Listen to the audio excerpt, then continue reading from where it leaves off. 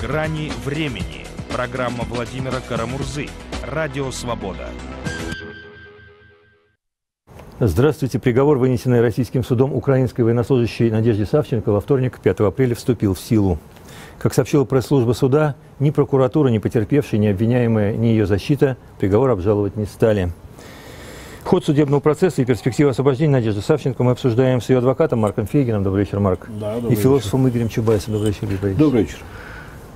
Марк, вы пытались э, как-то убедить Надежду все-таки обжаловать этот приговор? Ну, много раз. Это с декабря стал вопрос, и я убеждал ее, что с процессуальной точки зрения обжалование необходимо. Во-первых, об этом много говорилось, что мы должны обжаловать в дальнейшем приговор в Европейском суде, а нужно две инстанции. Первая – апелляционная. Это первая причина. Вторая, э, ну что там говорить, приговоры могут идти долго, а ее ведь теперь уже могут этапировать в соответствии с уголовно-исполнительным законодательством, уголовно-процессуальным. А если бы все-таки была перспектива обжалования в Ростовском областном суде, то она продолжала бы ну, несколько месяцев находиться в Новочеркасске, в СИЗО-3. И, в общем, это давало бы возможность ну, контролировать ее местонахождение. Все-таки в колонии много будет сложнее. Плюс там надо работать, ну, чего еще. Поэтому я ее убеждал все-таки подать эту апелляционную жалобу, как и мои коллеги. Она на отрез отказалась. Четыре раза писала письменные нам а, поручения, а доверитель вправе по закону об адвокатуре адвокатской деятельности решать, нужна ли ему жалоба или нет. Причем причины ее отказа, они прозаические. Она действительно убедилась в том, что суда в России нет. Она этого не знала до того, как попала в Россию. Впервые, кстати, и в тюрьму. Убедилась, что суда нет и видит в этом абсолютную и полную бесполезность с точки зрения справедливости, закона и так далее. Суд является производным этой авторитарной власти, и она считает, что это потеря времени пустая. На нее, знаете, еще что повлияло? Я вам скажу, что на нее повлияло э, Сенцова дело. То есть она э, видела, что, значит, ему дали 20 лет, и, в, ну, вы знаете, там была военная подсудность военного суда, э, и, собственно, апелляционная инстанция оставила в силе этот приговор, и он уже этапирован в Якутске. И она посчитала, что это пустая трата времени обжаловать приговор. Игорь Борисович, как вы считаете, Надежда одержала моральную победу над своими гонителями? Да, я думаю, что она поступает правильно по сути, потому что действительно у нас не правовое государство. Еще в 17 году, когда большевики захватили власть, Ленин запретил весь корпус законов Российской империи. Мы попали в неправовое пространство, неправовое поле. А еще Горбачев говорил, что нам надо построить правовое государство. После 70 лет коммунистического строительства, он вдруг заявил. То есть мы, значит, были в неправовом. И мы остаемся в неправом государстве теоретически и практически. Мы знаем, что у нас телефонное право, и за одно и то же деяние могут давать какие угодно наказания, могут вообще не давать. Вот сейчас мы с Васильевой, все этот хвост а, продолжается с Министерством обороны. Я считаю вполне правдоподобными версиями, версия о том, что пожар в Минобороне связан с тем, что горели архивы и документы, по которым можно было Васильева привлечь. То есть Васильева не, нельзя привлекать, значит суд не будет. А вот здесь нужно наказать, значит заказывают. Но Надежда проявила удивительное мужество, удивительное мужество, которое, конечно, никто не ожидал. И я уверен, что когда ее хватали спецназовцы наши, и э, ЛНРовские, ДНРовские, там эти самые наемники, сепаратисты, они были уверены, что ну, девчонка, там, женщина, они ее сломают сейчас, через 30 минут она во всем признается, все говорит и все сделает, все, что нужно. Оказалось, что она крепче наших спецназовцев, эти Алекс, э, Александров и э, Трофим, Тро, Трофимов, Ерофеев. Тро, Ерофеев, Александров, которые, да, сидят вот в Украине, они уже пять раз меняли показания, 10 раз признавались, а Савченко не прогнулась ни разу. И это вывод для всех нас, потому что победить в противостоянии с тоталитаризмом можно только не идя на компромисс, можно проявляя невиданную мужество, твердость, жесткость, но это требует огромных сил. У нас на прямой связи из Киева Сергей Соболев, депутат Верховной Рады, член комитета по вопросам правовой политики и правосудия. Сергей Владиславович, как общественность Украины восприняла приговор Надежде Савченко? Вам слово, добрый вечер. А, Добрый вечер. Ну, я думаю, это абсолютно естественная реакция.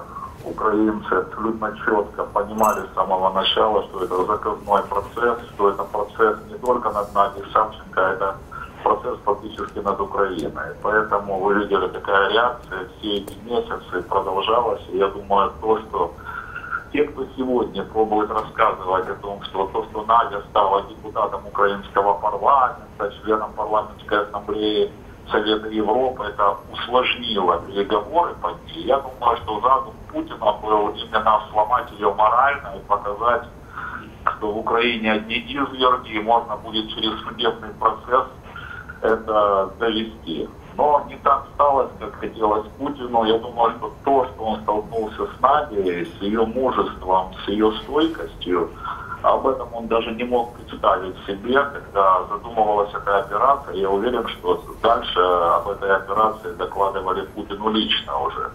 Поэтому то, что сегодня Надя это не просто рядовой офицер украинской армии, а просто Надя на сегодняшний день это и депутат парламента, депутат парламентской совета э, парламентской ассамблеи Совета Европы. Я думаю, что это во многом дает ответ на вопрос, насколько Путин лично и российское руководство игнорирует любые нормы международного права, поскольку здесь мы видим нарушение прямое, нарушение всех возможных норм международного права.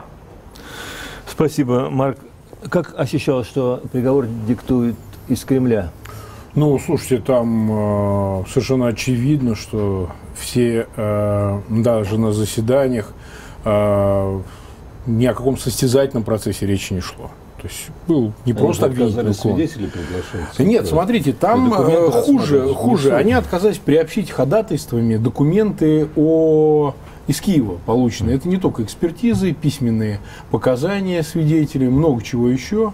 А, хотя это надуманные совершенно основания, ссылались на 453 статью Уголовного процессуального кодекса а, относительно получения такого рода документов по запросу. Угу. Причем отказывая в 86 статье, которая вступала в противоречие, адвокат вправе собирать э, доказательства, неважно где. Здесь территория не имеет значения, тем более, что речь шла о преступлении территории другого государства. Как же вы будете, как адвокат, выполнять свою функцию по защите, если не будете собирать доказательства в месте, где преступление, которое вы инкриминируете под защиту, произошло? Полный абсурд. Кстати, она сейчас, такая же ситуация, повторяется в результате процессе Клыха и Карпюка в Грозном. Там судья точно так же отказывается приобщать документы из Украины, хотя по субъекту, э, субъективной стороне, речь идет о э, лицах, которые имеют иное гражданство, и для характеристики личности, для обоснования того, что те же э, обвиняемые вообще не были в Чечне и не участвовали в войне, тоже нужны эти документы. Их отказываются приобщать.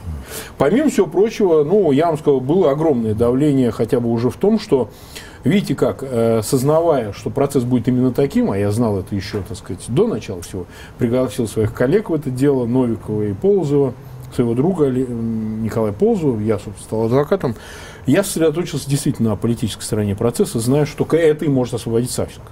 Примеры обратные, вы видите, это Сенцов и другие процессы ровно всех а, украинских граждан осудили. А, в течение процесса, например, да, значит, происходили вещи, которые э, э, выглядели как попытка э, укрыть отдельные, значит, важные свидетельства от глаз наблюдателя. Ну, например, показания Плотницкого. Мы же добились вызова Плотницкого, но заседание закрыли. А зачем вы его закрыли-то? Это главный ключевой свидетель. Он лгал от первого до последнего слова. И, соответственно, там э, это было очевидно для нас. Я допрашивал его как э, сторона защиты, и он человек лгал. Спрашивается, ну зачем вы закрыли это? Вы был в интересах, опять же, обвинительного суда, заказного суда и много чего еще. Это не хватит передач, чтобы перечислить, каким образом ущемлялись права защиты и каким образом нарушались права моей подзащитной. Но очевидно, что заранее был известен результат – и только не будь вот этого всего политического давления, всего этого, что было вокруг процесса, мы бы сейчас и не узнали. Ее также этапировали, как в Якутск, Сенцова, и мы бы говорили, ну что ж, вот еще один осужденный. Слава богу, хоть так мы можем обсуждать это открыто, и Обама снимает трубку и звонит, звонит э, Путину и требует освобождения Савченко. Это и есть результат. А на суд полагаться, это вещь абсолютно бесполезна. Да, я бы сказал два слова. Да, Вообще, ведь когда ее задерживали, то никто не знал, э, к чему это приведет, что будет дальше. И авторитарный режим российский был абсолютно убежден, что он на этом выиграет. Но действия э, чиновников в авторитарно-тоталитарном государстве, как правило, приводят к результату противоположному их намерению. Знаете, строили коммунизм, отмирание государства, в результате ни коммунизма, ни страны, распалась страна. Вот. А тут они рассчитывали, что они все докажут. В результате 28 лидеров государств Евросоюза заявили, что они солидарны с Савченко. Президент США заявил, что он ее поддерживает. Генеральный секретарь ООН Пан Гимун заявил, что во всех встречах с российскими делегатами он будет отставить права Надежды Савченко. То есть полное поражение, полный проигрыш властей и э, победа Савченко. Но тут, тут, тут очень много аспектов. Я бы еще один хотел такой аспект назвать. Дело в том, что история СССР – это история неправосудия, беззакония. И какие-то выводы должны делать для этого, из этого и судьи, которые ее судили. Вот в 1952 году готовился суд над э, врачами-вредителями, в основном евреями, хотя там был целый ряд русских врачей. И э, умер Сталин, и всех выпустили, а организатор этого процесса, подполковник МГБ Рюмин, был советским судом приговорен к расстрелу и был расстрелян. Так вот, судьи, которые судят неправо, они должны понимать, что режим не, не, не абсолютный, что у нас будут изменения, изменения будут скоро, и за все это придется отвечать. Полезно об этом помнить, свою историю. Да, давайте Сергею Соболеву зададим вопрос. Как вы считаете, есть ли возможность обменять надежду на российских э, военнопленных, которые содержатся в Киеве? Вам слово, Сергей. Знаете, я хотел бы прокомментировать предыдущий. Ну, зачем нам далеко ходить, аж в старые времена? Достаточно посмотреть времена Януковича в Украине. Где сегодня все эти судьи, которые выносили неправомерные решения по Юлии Тимошенко и по многим, по многим другим, они сегодня либо в бегах, либо находятся сегодня под следствием. Поэтому тут я абсолютно согласен, что ответственность прежде всего будет лежать на тех, кто подписывает именем в, данном, в данной ситуации Российской Федерации такие псевдорешения. Для нас это еще было принципиально, потому что процесс политический, который прошел, к примеру, над Тимошенко, над Луценко, над многими-многими другими, с кем пробовал расправиться, Янукович нам тоже тогда говорили, зачем вы вылазите в политику? Пускай адвокаты, вот Сергей Власенко, идет исключительно только по эпизодам. Мы сразу же поняли, что это единственная возможность привлечь мировое внимание, внимание всей общественности Украины, даже в тех условиях тоталитарного режима, который был при Януковиче. И я думаю, что это очевидно, что в конечном итоге все равно нести ответственность будут и прокуроры, которые фабриковали эти дела, и те же судьи, которые это делали. Но относительно возможности... Знаете, я думаю, поскорее. что ситуация настолько серьезно далеко зашла, что уже способ, в который Надя будет освобождена, это уже как бы на втором плане. Ключевой момент это то, что тот факт, что она должна быть освобождена. Какая форма будет найдена более приемлема для того же Путина, Потому что я думаю, что тут многие пойдут на уступки мировые лидеры для того, чтобы состоялся сам факт ее освобождения. Либо это будут эти два, ну, псевдо-ФСБшника, которые сначала заявляли, что да, они там боевые офицеры, сержанты, потом отказывались от своих показаний, рассказывали, как их бросила Родина, что к ним с ними никто не имеет связи. Потом вдруг внезапно совсем другие показания давали. Так вот, мне кажется, тут уже сам факт обмена, это уже, ну, как бы второстепенная вещь. Потому что я думаю, что тут наверняка пойдут на какие-то факторы, которые дадут, дадут возможность и Путину выйти из этой ситуации, ну, хотя бы не таким униженным и приниженным. Но уже факты на сегодня налицо, что это произойдет. Иначе бы не было бы таких посылов мировых лидеров, не было бы посылов к тому, что это должно быть. И поэтому я думаю, какая форма будет найдена, это второстепенно. Главное, чтобы Надя была на свободе. Спасибо, Сергей. Марк, какие факты говорят о том, что Надежда не участвовала вот, э, в операции, в результате которой погибли российские журналисты? Ну, они все, в общем, более или менее содержатся в уголовном деле, потому что лукавством было сказать, что суд для этого был нужен. Дело в том, что еще в период предварительного следствия, это между декабрем 2014 и мартом 2015 были получены основные по запросу документы из Украины. Это, в частности, биллинг с детализацией телефона, который свидетельствует, что Савченко фактически попал в плен в 10.46, а журналисты Корнелюк и Волошин погибли в результате обстрела в 11.56-11.57 в этом промежутке. Это, так сказать, э, показания свидетелей также, это те, кто были вместе с ней в плену. Там Синеговский, Гвоздяковский в результате боя, который был в 9 часов утра, ну, между там 7 и 9 часами утра, там были боевые действия в районе Стукаловой балки в результате которых, собственно, в плен и попала в конечном итоге Надежда Савченко, это, не говоря уже, так сказать, э, то, что по ходу выяснялось в дальнейшем, так сказать, это история с Карповым, прослушка, которую СБУ предоставила, это сотрудник бывшей администрации президента из Сурковской части, да, который работал в ЛНР, в качестве, так называемый ЛНР, в качестве э, там, то ли пиарщика, то ли консультанта, то ли там, лица связи с э, Сурковым который, собственно говоря, в этой прослушке, беседуя с Болотовым, значит, говорил о том, что Савченко интересный, и мы ее перекидываем бабушке. Бабушка в условиях терминологии – это ФСБ. Что ею интересуются, хотят ее использовать для своих целей, чисто пропагандистских. Не говоря уже о том, что потом в дальнейшем выяснилось посредством экспертизы астрономической по теням Солнца, которые падают на записи, когда ровно в тот момент попадает в плен Савченко, астрономическая экспертиза, определено было время, там плюс-минус 5-10 минут, это 10.40, 10.46. То есть, когда она уже дает в платке, э, значит, отвечает на вопросы, взявшие ее некого Егора Русского.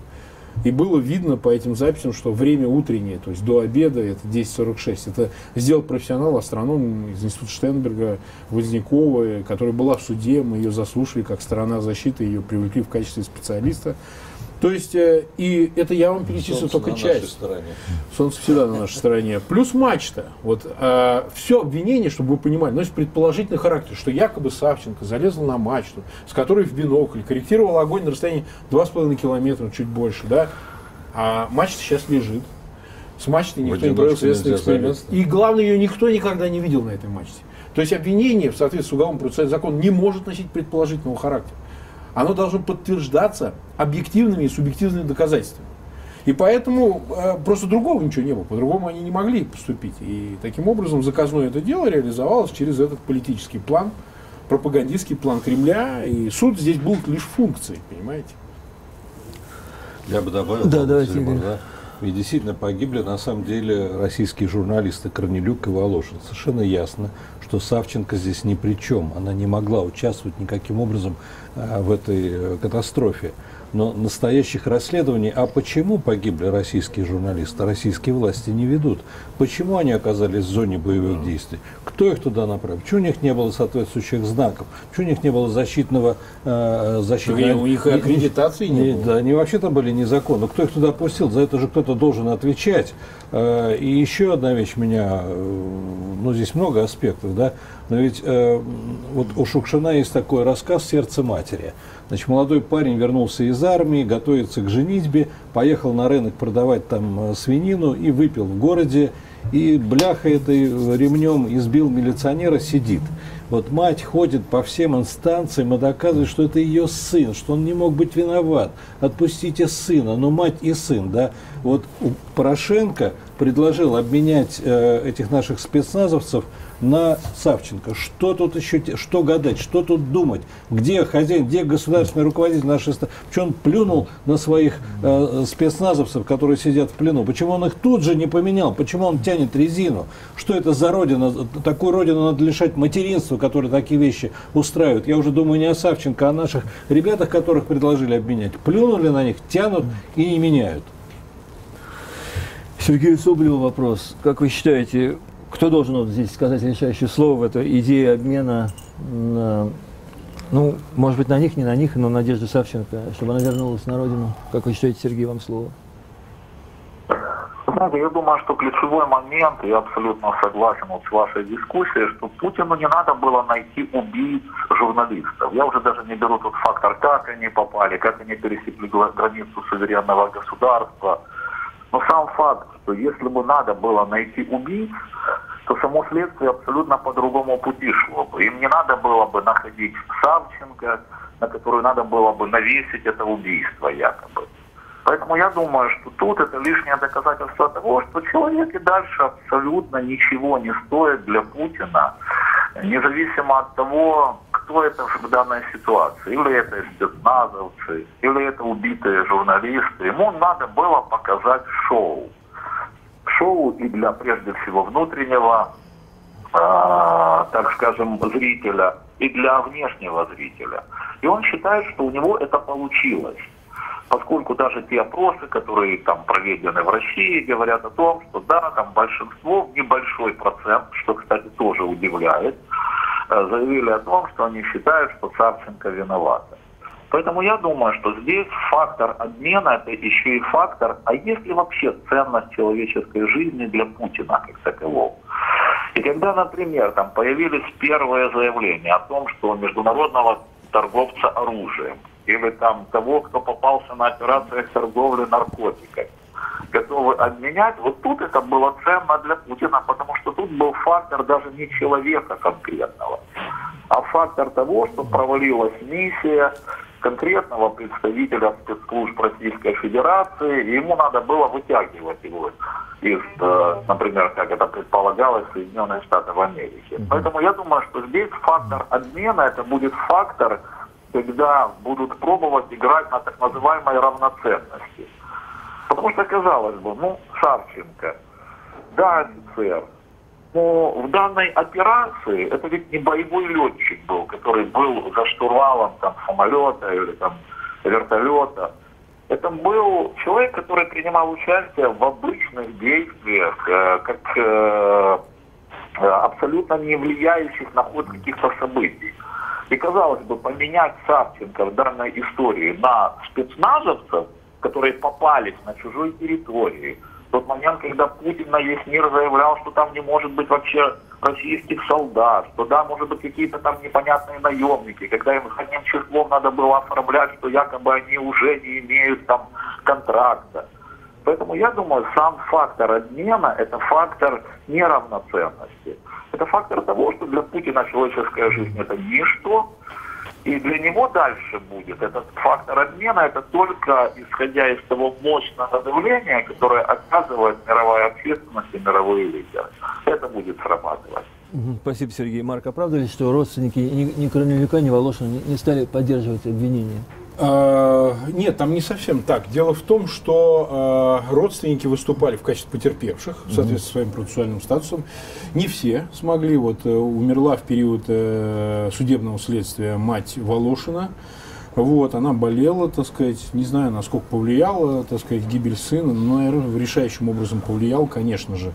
Вот, э, в этом, там было немного другое. Они не заявили исков материальных э, к Савченко в качестве компенсации, что является, в общем, практикой. Да, таких... если бы они признавали да, это а, обвинение. Да, я думаю, я выскажу только личное свое мнение. Я думаю, поскольку выступали по видеоконференц-связи отец Корнелюка, э, там, супруга и так далее, мне кажется, они сами не верили в то, что Савченко действительно причастен к гибели э, их близких.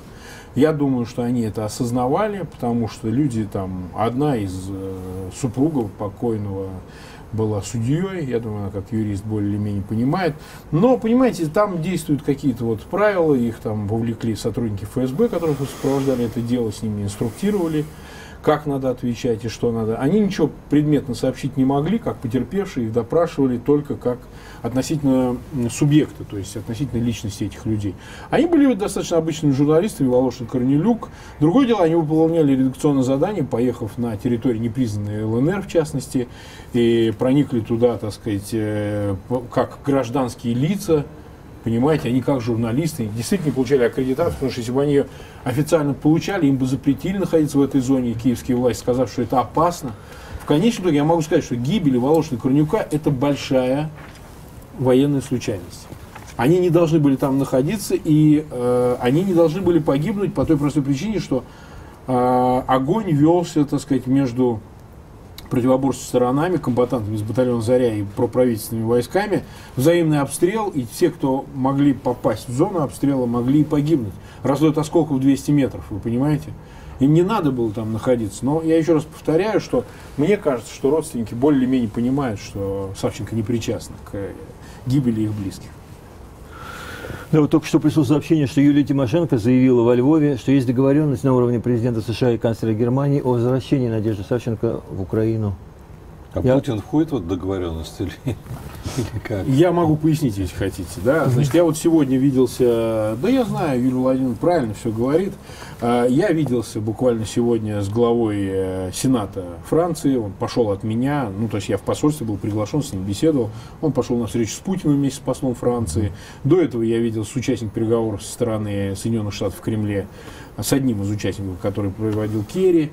От всех я слышал о том, что Путин обещает и говорит, что да, мы ее э, отправим, да, мы ее освободим. Но не говорит двух вещей. Как когда? и когда. Он никому этого не говорит. Я считаю, что это некая игра со стороны Путина, Кремля и окружения.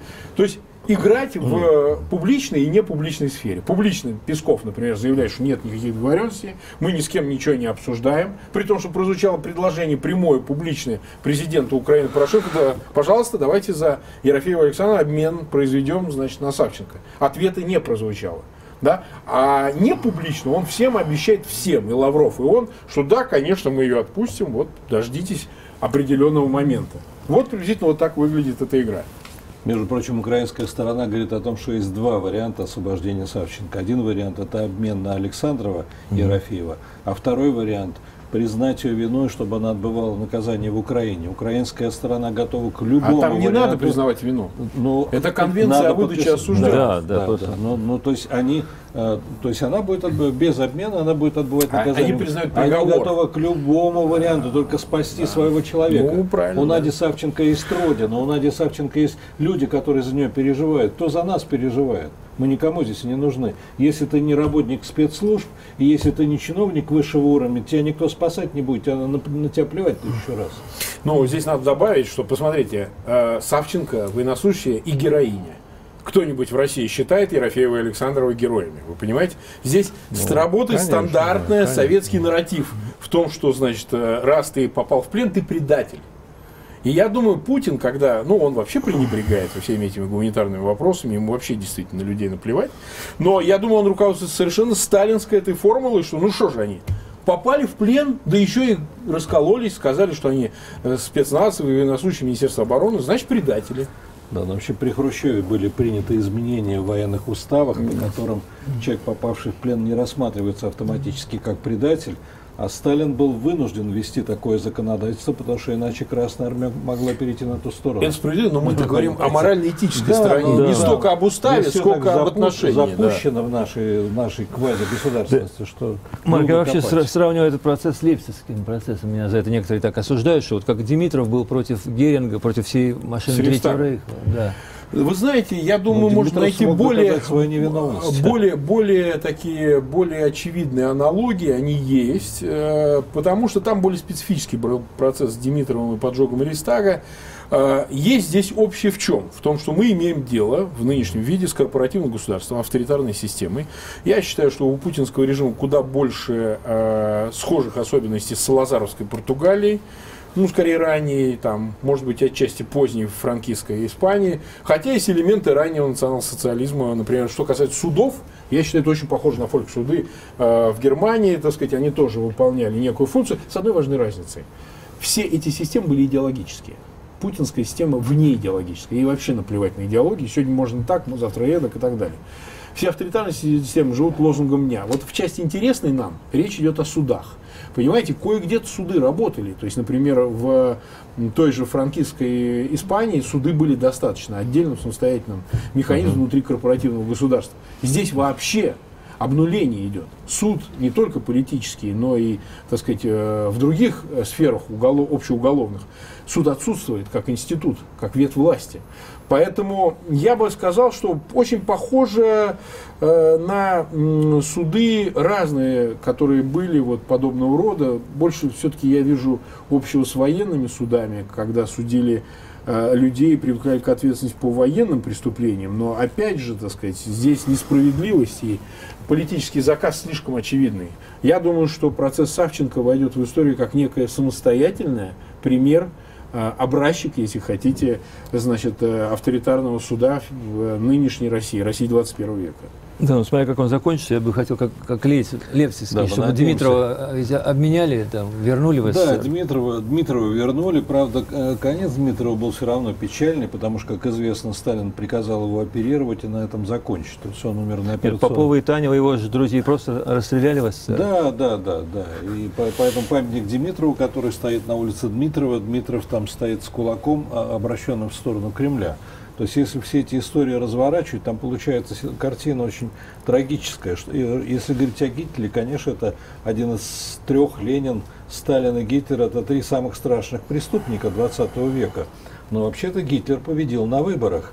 И Гитлер не отменил ни одной статьи немецкой конституции. Большевики никаких выборов никогда не проводили. Точнее говоря, они провели выборы в учредительное собрание, проиграли и разогнали учредительное собрание. Поэтому здесь нет э, никаких законов. А нынешняя РФ является правоприемницей Советского Союза. Отсюда все наши беды. Еще одна деталь. Я с вами в одном пункте не согласен. Вот вы mm-hmm. говорите, что нет никакой идеологии она на самом деле есть, только она выражается не в том, что мы строим коммунизм или антикоммунизм или еще чего-то, или, или арабский радика, исламский радикализм. А, суть а, нынешней идеологии в том, что власть всегда права, и все, что делается, делается в интересах правящей группировки. А, а ради этого иногда нужно говорить, что э, расстрел в Катыни это катастрофа, а иногда нужно говорить, что Сталин великий вождь, а иногда, но это всегда Мы, Я в традиционной плоскости нахожусь, я говорю Старой о... идеологии, конечно, нет. Да, конечно, почему старая идеология нужна для того, чтобы мотивировать? Создать. Мотивировать. Нет, Они ну, естественно. Потеряли, там... а новые создать не могут. Есть квази-суррогат, это суррогатное, вот имперство. Да? Это же тоже, так сказать, это... вполне себе идеологический не, не, нарратив, конечно. Я сейчас буду защищать Российскую хорошо, империю, хорошо. я всегда за Россию. Давайте мы Сергею Соболеву дадим слово. Сергей, как выглядит машина вот, российского судопроизводства? Как Фемиды или как машина, орудие произвола судебного? Вам слово, Сергей. Вы знаете, мы это все видели вот в недалеком прошлом. Все очень схожее. Те же команды, которые прямо отдаются через нужных людей, близких к Путину. Путин принимает решения по самым-самым резонансным вещам, как это принимал, например, Янукович. Есть ответственные люди, которые прямо общаются с судьями, которые прямо общаются с прокурором. Понятно, что Путин сам не унижается до уровня там, судьи или прокуроров, и эта вся машина работает очень налаженно. Но вот вы знаете, вот я думаю, в ходе нашей дискуссии, а в конечном итоге, хорошо, изменится ситуация в России, а кто виноват в гибели тех же журналистов? Кто виноват в гибели сотен и сотен солдат, офицеров, которых Путин отправлял фактически на смерть? Но в конечном итоге все равно придется отвечать ему. Потому что он отдавал этот приказ. Да, он заручился поддержкой Государственной Думы, и за это фактически моральную прямую ответственность несут депутаты, все, которые проголосовали за это Российской Госдумой. Но в конечном итоге ответственность личная Путина. Вот точно так же, как, к примеру, через много-много лет начали предъявлять прямые, прямые иски к Франко, погибшие, э, э, точнее родственники погибших э, жертв этого режима, как это было во многих других странах, я уверен, что это все равно восторжествует как справедливый акт возмездия. Потому что мне все это вот напоминает Савченко еще один не такой далекий пример из нашей советской общей действительности, когда, помните, в связи с тем, что существовала смертная казнь, многие были осуждены и потом через какое-то время оказывалось, и уже приговор был приведен в исполнение, а потом через некоторое время оказывалось, что они не были убийцами. Причем это как-то так происходило в основном по серийным убийствам. Вот мне кажется, что элемент этот, который присутствует, когда я заказное дело, при наличии таких фактов, которые свидетельствуют 100% о невиноватости Савченко – это все вместе дает повод сказать об одном, что в конечном итоге Путину придется отвечать за все, что он сделал и в Украине, и не только в Украине. Да, вот к Пиночету, помните, были персональные иски его, ведь э, тоже под судом он находился. Ну да, Пиночет тоже был из следствия, потом он разыграл тяжелую болезнь, его освободили от следствия, потому что он был по состоянию, как, здоровья. по состоянию здоровья, потом оказалось, что он совсем не так болен. Но если вернуться к этой теме, я бы еще раз вот что подчеркнул. Ведь э, немцы отвечают за Вторую мировую войну. Немцы э, несут моральную ответственность. Нюрнберг осудил э, действия э, фашистской Германии. А почему? Именно не только Гитлера, но и э, тех, кто вел эту войну. Потому что Гитлер победил на выборах. У нас почему я должен отвечать за действия властей, которые я не выбирал? У нас нет нормальной избирательной системы, я все время об этом говорю. Если мы не проведем наш русский Нюрнберг, то отвечать будем мы. А если мы проведем русский Нюрнберг, то отвечать будут власти, которые все это вытворяют. Я с этим не соглашался и всегда занимал такую позицию. Поэтому Мы... трудно. Конечно, я понимаю, что Украина, где идет война, где погибает 10 тысяч человек погибло, да, конечно, они смотрят уже э, не на Путина, а на русских смотрят, как на врагов. Но это эмоциональная ситуация. Кстати, вот э, наш клуб, я ведущий клуба России, мы для Надежды собирали деньги, помощь. Э, единственный раз появились координаты, данные о том, как ей помочь. Мы собрали деньги, и она потом э, написала, что мы даже не ожидали, она, она даже не ожидала, что в России есть такие люди. Она половину денег отдала фонд э, этой самой доктор Лизы. Она угу, да, да, что да. много она получила. Марк, а, а вы разные люди. поддерживаете создание списка Савченко, вот, который сейчас... Ну да, я даже принимал в него участие. Мы давали данные на следователей, прокуроров, э, судей, потому что ну, мы как защитники вовлечены в этот процесс, и, так сказать, э, я поддерживаю. Э, идет он не очень просто. В Украине понятно, что там он не встречает препятствий, не очень просто он идет в Европе, в США, так сказать, там, ну, например, вы знаете, относительно Путина была дискуссия, он действительно пользуется международным иммунитетом как глава государства, внести его в список, там, запретить въезд, заморозить активы, это непростой вопрос. Вот, э, равно как и некоторых лиц, которых я, например, направлял также, ну, надеюсь, э, что этот вопрос не закрыт, журналистов разного рода, пропагандистов точнее, они будут туда внесены. Это большая работа, и она займет э, очень много времени. Это не один месяц, так сказать. Но я надеюсь, что она увенчается некоторым успехом. Список Савченко вполне можно реализовать. Сергей Соболев, вы а вот там на Украине, считаете, может быть, надо расширить список Савченко за счет каких-то, вот вы говорите, всех депутатов Думы, может быть, сенаторов? Сергей, вам слово. Несомненно, этот список надо расширить, чтобы каждый человек понимал, что в конечном итоге будет ответственность. Но обращаясь к вашей предыдущей дискуссии, у нас, я не думаю, что есть э, вот такая ненависть, как там, возможно, кто-то думает даже на фоне этих тысячи тысяч жертв, тех людей, которые покалечены войной, ненависть к русским. Я думаю, что как раз процесс над Савченко – он очень четко дает ответы на вопрос, что есть разные люди в любой стране. У меня, например, ненависть к моему однокласснику Глазьеву, которого я считаю главным идеологом а, Путина, который и разрабатывал целый ряд операций, каким образом в конечном итоге закончит это все кровопролитием. Я считаю, что таким людям прощения нет. Тем более это человек, который учился в украинской школе, это человек, у которого семья там в Украине, он сам здесь был, он чудесно ориентировался в ситуации, он неоднократно приезжал в Украину, когда у него еще не было этих завихрений. Вот я считаю, что таким людям прощать нельзя, потому что они точно так же, как идеологи фашизма, который привел к э, миллионам и миллионам жертв, должны ответить в конечном итоге за то все, что они сделали для страны, которая была родительницей, Поэтому мы, конечно же, разделяем таких людей. И я думаю, что в этом плане абсолютно объективное отношение к каждому. Я говорю еще раз, что процесс Насадченко показал, какое количество людей в Российской Федерации, которые абсолютно адекватно воспринимают даже в условиях этой тотального вранья, этой тотальной пропаганды, абсолютно правильно воспринимают все, что происходит. Ну, вы знаете, правильно или неправильно, я вам скажу такую, такую деталь из небольшого личного опыта. Но действительно, я редко смотрю наше телевидение, поскольку все считают, что это сплошная мифология. Вот э, на прошлой неделе я как раз посмотрел программу Ирады Зайналовой, Первый канал, и там был, э, был материал по Савченко. И я впервые понял, почему многие люди у нас считают, что Савченко преступница. Потому что если смотреть такие каналы, а есть целый ряд регионов в стране, где виден только первый канал и второй канал, и больше ничего нет. Если смотреть такие программы, то ты действительно будешь э, настроен против бандеровцев, против фашистов, и, и любую дребедень тебе можно вбить в голову. Вот. Поэтому э, вот есть такие люди, и очень многое зависит от пропаганды, от того, как устроен информационный канал, от того, что, что мы слышим и способны ли мы самостоятельно мыслить. Интересно то, что вот 15% населения, несмотря ни на какое промывание мозгов, не приемлет демагогию, не приемлет ложь, не приемлет официальную мифологию.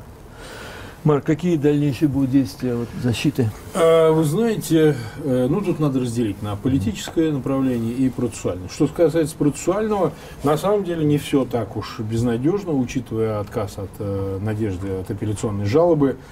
Э, вы знаете, я подал петицию в рабочую группу по незаконному задержанию при уполномоченному ООН Анденесу значит, в Женеве, и мы в апреле ожидаем ответа. Это дежурная достаточно процедура, она более свойственна применять ее к странам, где откровенные диктатуры, и она разменивалась именно там, но в данном случае, так сказать, у нас хорошие шансы, что там будет принято решение. Это второй вопрос, выполнит его Россия или нет, но это параллельный uh институт процессуальный, так же, как и Европейский суд по правам человека.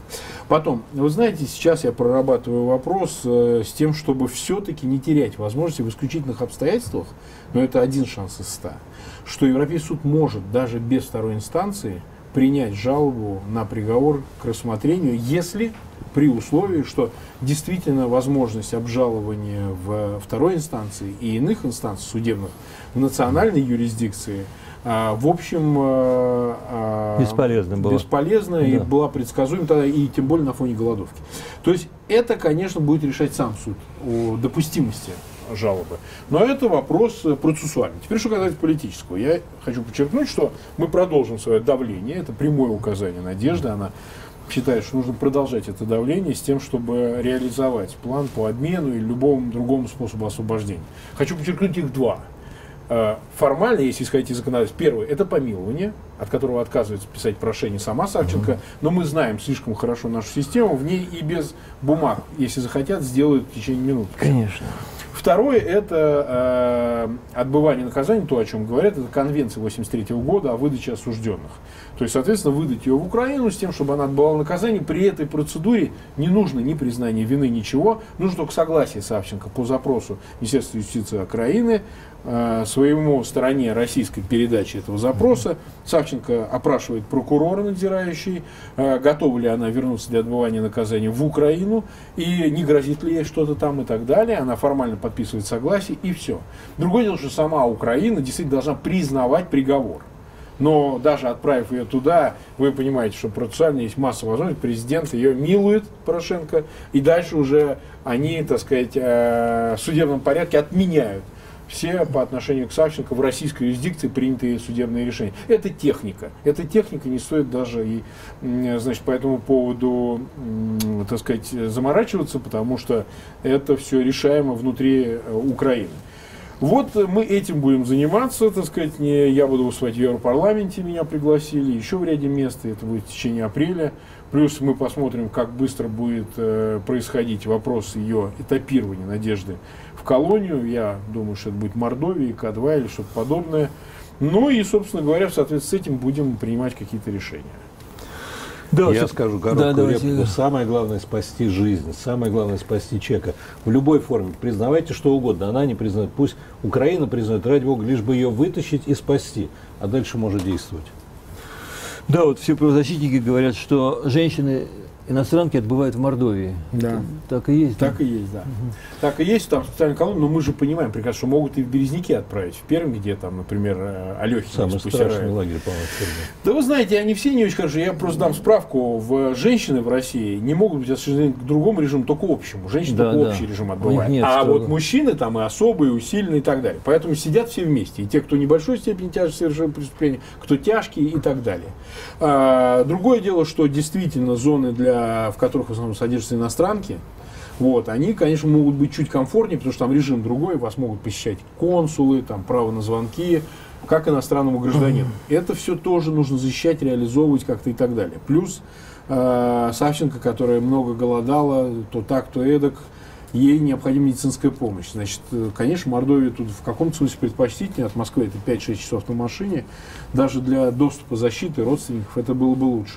Поэтому Но же посмотрим. не пускают ни украинских, ни немецких врачей не пускают. Пока. То есть да. это Ну, что это целая за история. зверство? Ну, что же Ну, за там и сказать, что творится? она жест неприлично сделала во время своего последнего слова. Ну, это это ерунда. чем да. здесь жест? Да, чем здесь- ерунда, да. Еще бы она спасибо Знаете- им сказал за то, что их схватили и два года держат.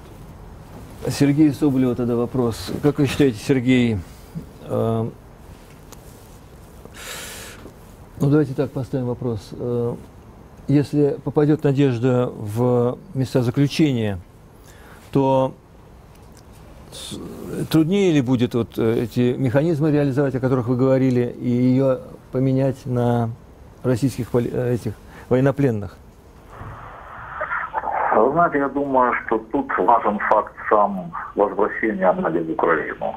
Э, Откуда это будет происходить, в какой способ? Единственное, я могу сказать, что буквально 18 апреля стартует очередная сессия парламентской ассамблеи Совета Европы, где украинская делегация при поддержке многих делегаций других стран вносит вопрос о специальной процедуре рассмотрения именно вопроса по Наде Савченко. Я думаю, это тоже будет очень существенный момент. И вы знаете, я вот буквально на прошлой неделе, так получилось, был на дне рождения у мамы, Нади Савченко, у Марии. Когда я увидел эту женщину, ей 78 лет, я понял, что Путин связался не с той семьей. Этой женщины, вы бы видели ее глаза, ее проникновенность. Я думаю, что вот Надя это прямое продолжение этого рода. И я думаю, что в этом плане самое главное, чтобы Надя была здорова, чтобы она смогла выдержать все это, и этот момент ее этапирования, там, освобождения, обмена, если он только наступит, я понимаю, что это будет самое главное в этой истории. Игорь Борисович, как вы считаете, вот э, Кремль ну, способен вообще на какое-нибудь милосердие, на покаяние? Вообще я так Нет, я думаю, говорю. что такие категории для чиновников отсутствуют. Знаете, меня- вы, вы- спросили о покаянии. Я вспомнил давнюю ситуацию во время перестройки. Я очень жестко спорил один раз с партийным функционером, его просто оскорбил. И мне стало неловко. Ну, вот я его задел уже лично, да, я потом к нему подошел, говорю, вы знаете, лично к вам у меня нет вопросов, я не согласен с вашей позицией. На что он мне ответил, если бы я ошибался, обижался на ваши слова, я был бы профессионально непригоден. Мне абсолютно наплевать, что вы тут говорили и как вы говорили. Вот этот принцип, он работает и сегодня. Номенклатура вне эмоций, вне морали. В этом страх, в этом опасность для всех. Потому что эти люди действуют только из личных интересов. Остальное, если на них оказывается давление, в котором они проигрывают больше, чем получают, тогда они прогибаются. Если Ну да, они не нет, рефлексируют вообще. Не рефлексируют, это абсолютно точно. Можно судить любого по любой статье. В этом смысле нет суда. Можно любую статью приписать, абсолютно плевать, кто что скажет, кто что делает. Марк, как вот вы, если сравнить с процессом Пусирает, как здесь усовершенствовали российская Фемида свое лицемерие и свое вот это А, вы знаете, они сделали выводы из Пусирайта. Мгм. Да, с Да, я, да, они сделали выводы какого свойства? Ну, например, чисто технические. Вот они, а, например, увод процесса из Москвы. Это сознательно вывод, который они сделали, что не надо в Москве проводить крупных шумных процессов такого рода. Вот есть возможность, убери в провинцию и так далее. Поэтому они изменили в самый последний момент в самый последний момент уже конца следствия, перед 217 статьей, перед ознакомлением изменили, собственно говоря, Подсудность, фактически да. подсудность, э, обвинив Савченко в пересечении границы именно в Донецке, в неуправляя, нерегулируемом этом переходе, э, пункте перехода Северный, для того, чтобы подсудность была именно там, Да, вместо. Москвы и так далее. То есть это один вывод. Второе, вы знаете, они э, перестали делать шумных программ, как Мамонтова. Вы помните, у Мамонтова целые программы были по Пусси Да, Райт, да. эти скрепы. Кощунницы. Да, кощунницы, там, сказать, меня полоскали. Ну, меня-то, ладно, там, меня из раза в раз, так сказать, я враг государства. Но они сделали выводы, что не надо слишком тоже накручивать историю, нужно просто штампами работать. Работать штампами. Не надо творческого развития истории. Не надо. Пусть, пусть вы помните, стояние Да, было и так далее. да. Сейчас это, я просто точно знаю, что им сказали, не надо ша, не надо вот этого ничего, потому что это только привлекает еще большее внимание. То есть и так-то, в общем, они несчастливы от того, что, значит, эта история получила значит, такое развитие, но мобилизовывать электорат они сами через свой зомбоящик, так сказать, э, регулируют этот вопрос, но без креатива, не надо креатива. То есть вот стандартный проект Зейналова или какого-то вот этого, я не знаю, э, на ТВЦ, вот мне тут передавали, я Бабаян. вообще телевизор Бабаян, да? Я даже не знаю, кто такие. Есть вот такой. такого вот, это пожалуйста. А вот чтобы, знаете, с состоянием, с репортажами, не надо. Вот, это важно в пропагандистском плане. А, И плюс, конечно, э, Pussy Riot, давайте прямо говорить, это была все-таки история очень лайтовая. То есть прямо скажем, потому что, ну что, танцы на Салье, храме, если бы Путин не отреагировал изначально так, патриарх там и так далее, то могло бы обойтись. Но они же задали крен этот изначально. Так сказать, Э, здесь история на фоне войны, здесь реальные жертвы, смерть, кровь. Здесь война, понимаете, здесь все гораздо серьезнее. Riot это развлечение. Им хотели дать 7, дали 2, слава богу, отсидели год и 10 месяцев. А Вот, при том, что они сломали одну из участниц, ну бог с ним. А здесь они столкнулись с проблемой, которую приходилось в том числе маневрировать по ходу решать. Э, Если вся история Riot следствие вместе с судом длились 8 месяцев, тут уже 2 года, считайте, вот скоро будет 2 года. Поэтому здесь они сделали некоторые выводы. Другое дело, что это не помогло. А что? Понимаете, все равно история получила этот размах, который она получила. Сергей Соболев, Вопрос вопрос. с Pussy Riot тоже многое непонятно, потому что если они оскорбили церковь, то церковь-то исходит из того, что Бог есть, Ну. и тогда Бог и покарает. Зачем же еще суд? Я, э, я вас умоляю, вы суд- говорите суд- об этой церкви, мы же знаем, Да, что да. там и как. Нет, ну, Сергей Соболев, вопрос. Как по-вашему, Россия, вот осудив Надежду Савченко, признала себя тем самым воюющей страной, как вы считаете, Сергей? Что раз она ее рассматривает... Да. Но в данной ситуации, ну, я думаю, что сам суд это и есть признание того, что Россия это воюющая сторона. Иначе как там могли быть э, все те обстоятельства, которые прилагаются к этому ну, фактически искусственно сшитому процессу.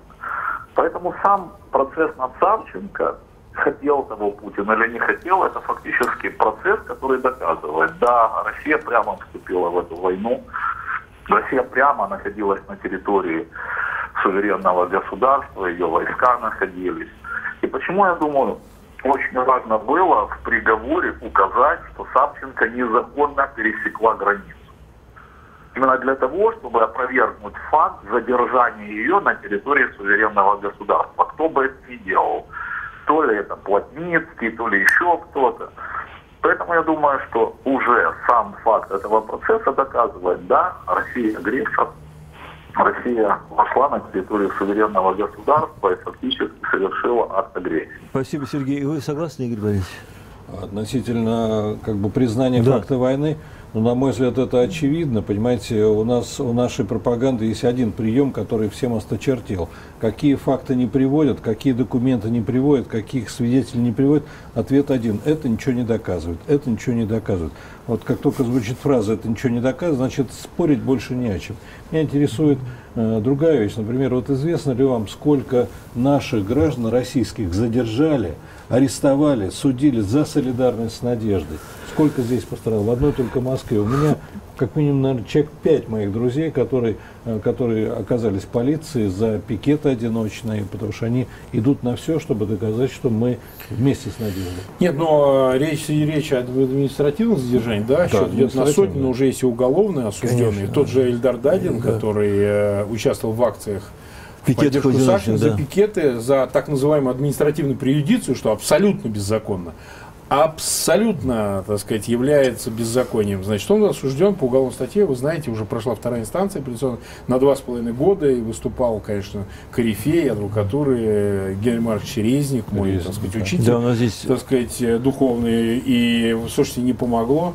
Анастасия здесь у нас золотое Да. участие его супруга Ну бывает. да, да, ну то есть речь идет о том, что нет суда. Что, что, что резник, что не резник, какая разница, Не правовое суда. государство. Да, и поэтому, значит, это никакой роли не сыграло, но вот эти люди, да, привлечены и к уголовной и административной ответственности именно за поддержку Украины. Ну что ж, мы видим, что есть какие-то ресурсы да, для того, чтобы сценарий пошел не по самому худшему варианту. Может быть, э, трезво, трезвые головы найдутся или в Кремле, или где-то в других местах, где принимаются решения, и Надежде удастся вырваться из лап э, российской больших камычках Фемиды. Большое спасибо вам за участие в нашем прямом эфире. На волнах Радио Свобода звучала программа «Грани времени». У микрофона работал Владимир Карамурза-старший. Редактор программы Андрей Трухан, продюсеры Марк Штильман и Олег Львов.